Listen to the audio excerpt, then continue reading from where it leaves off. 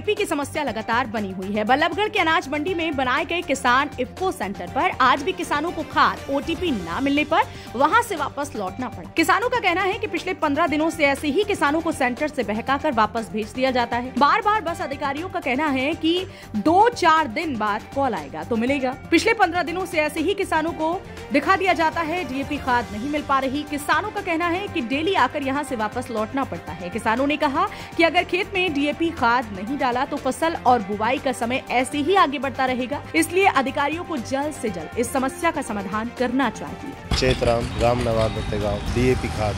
अधिकारी ने बोला कि अभी हमारे पास तो है नहीं प्राइवेट दुकानों पे रैक आया है।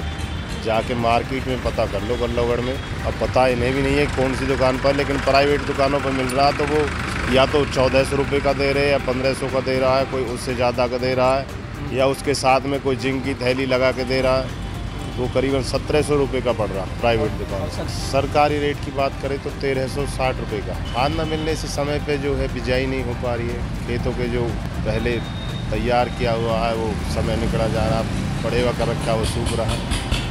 समय पे सरकारी गोदामों पर खाद भेजा जाए और खाद की कोई कमी, बीज की कोई कमी। अब जैसे यूरिया का अब समय है कुछ बिजाई जो पहले की है, उसमें यूरिया की ज़रूरत है तो अभी यूरिया भी नहीं है। मेरा नाम निरंजन है। सीकरी के पास नंगला गाँव से आए। यूरिया डीएपी नहीं मिल रहा है। कहते हैं डेट दर देते हैं। आएँगे, फिर भी नहीं मिलता।